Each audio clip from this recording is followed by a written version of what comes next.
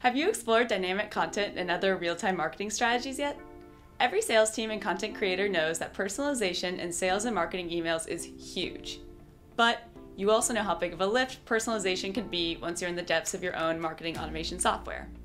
Segmenting out customers and creating different lists can be incredibly time consuming, and that doesn't even include setting up the 10, 20, 30 different email variations. Microsoft Dynamics 365 Marketing recently released the ability to implement conditional content blocks in real time marketing emails. This new feature allows organizations to deliver hyper personal content to customers with a relatively low lift. Today, I'm going to show you why our product team is super excited about this new feature.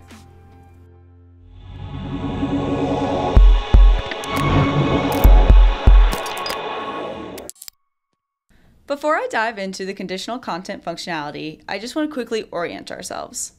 So right now, we're looking at the real-time marketing email designer in Dynamics 365 Marketing.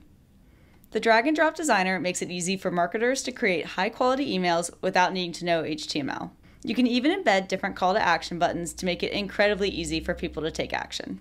You've been able to personalize emails with information from contacts, leads, accounts, etc. for a while, but Microsoft just released the ability to conditionally display entire sections of content based on previous activity, demographic information, etc.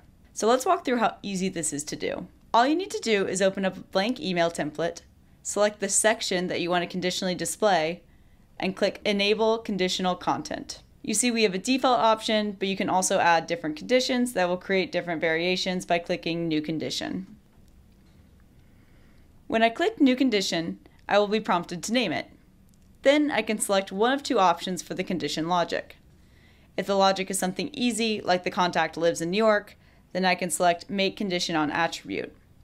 I will then be prompted to choose if the target is a lead or a contact, and then choose which fields I want to base my logic on.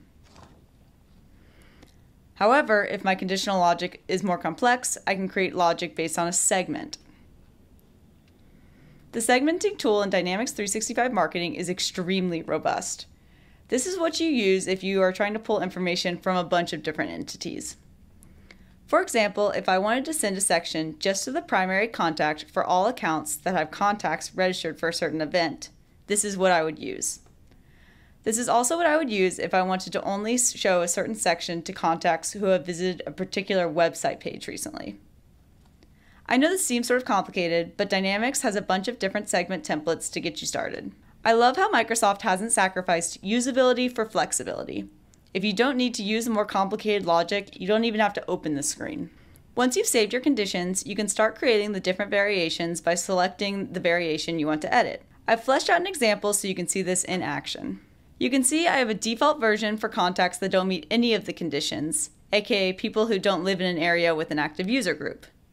In this default version, I have a link to a form where I can collect information for people who are interested in participating in a user group. But when I switch to the New York variation, I see a different message with a different CTA that prompts people to RSVP for the New York group meetup. And then I've also got a different one for the DC, Northern Virginia area. Once your email is set up, you then bring it all together with the customer journey. To set up a journey, you will first need the audience. We briefly touched on segments above, but just to reiterate, the D365 marketing segmentation tool is super powerful. You can segment contacts based on complex relationships to other information in the system, behavioral information, etc. You can see here my segment is just looking for primary contacts of active accounts. Once you've defined your audience, you just need to choose the email, text message, etc. that you want to send out.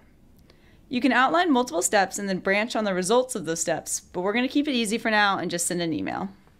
We will show the analytics specific to the variations in a bit, but I love how Microsoft has made it super easy to quickly define the overarching goal of the journey right within the designer.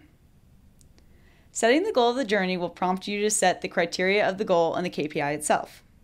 For example, once I set the goal of the journey as send a general notification, I'll see these two new fields, this goal is met when, and the number of people needed is. Because the goal is to get people to attend a group meetup or say they're interested in a user group, let's select the a person clicked on at least one link option.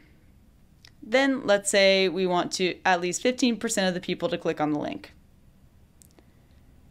However, if the goal of the journey was to drive a purchase, we would see different options for the this goal is met when field.